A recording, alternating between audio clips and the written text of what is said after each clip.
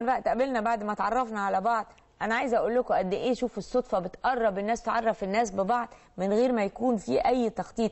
أنا حسيت ان وراء ال- التغريدات أو التويتات بتاع الدكتور نايل ان في ضمير وطني مصري من الدرجه الاولى.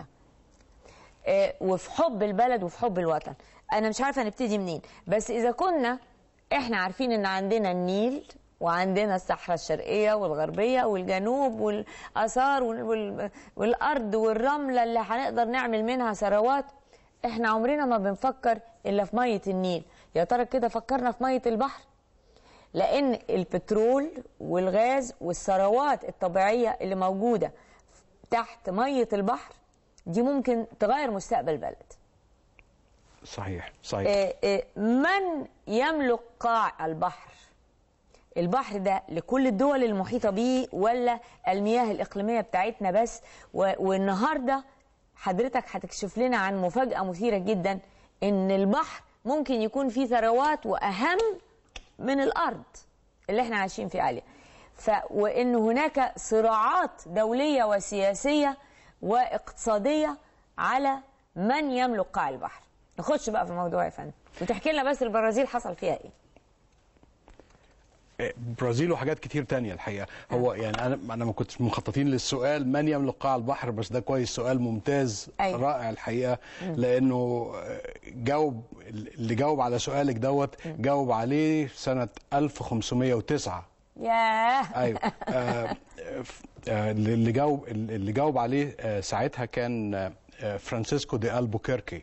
أيوه. ده كان مستكشف برتغالي أيوة. وكان متضايق جدا بعد الاندلس سقوط الأندلس قال إن إحنا لازم الكلمة جملة واحدة. Mare Nostrum.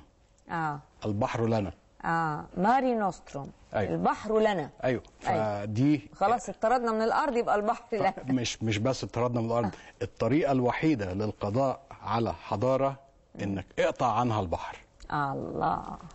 فاللي حصل بعدها في خلال ال 50 سنة اللي بعدها البرتغال راحت واحتلت كافة المواني الكبرى في العالم الإسلامي من طنجة لغاية مانيلا. صح. آه، أو ما قدرتش تحتل المدينة كانوا على بعد مرمى مدفع منها يعملوا حصن صغير أيوة. يضرب الم- ال- المينا الكبيرة. أيوه فده تم في ال- في الفترة دي. مش عايزين ندخل في في التاريخ بس كتير. حلو ده تفسير جميل. أي.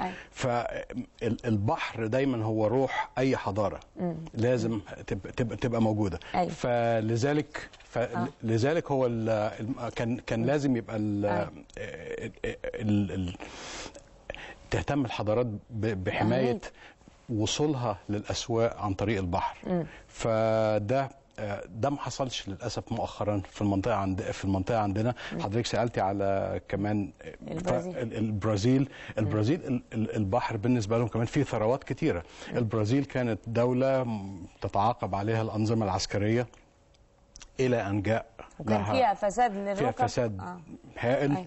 آه لغاية ما جه لولا دا سيلفا وصادف في نفس الوقت إنه بعدها كان قبلها كان كان قبله على طول كان في أزمة اقتصادية طاحنة. أيوة. وظهرت تكنولوجيا جديدة للحفر العميق. فيوصل للأعماق الأكثر من 2000 متر تحت سطح الماء ويحفروا. فحفروا حقلين كبار كامبوس ولانوس الاثنين دول اللي اتحفروا مع بعض في في 2003 الحقلين دول جابوا للبرازيل ما يقدر بحوالي 25 مليار دولار سنويا. 25 مليار دولار سنويا أيوة. من حقلين غاز بس